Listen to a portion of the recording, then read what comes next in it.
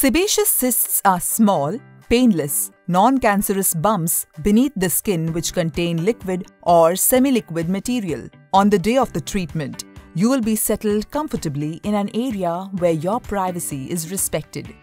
The site is cleaned with betadine solution and local anesthesia is administered.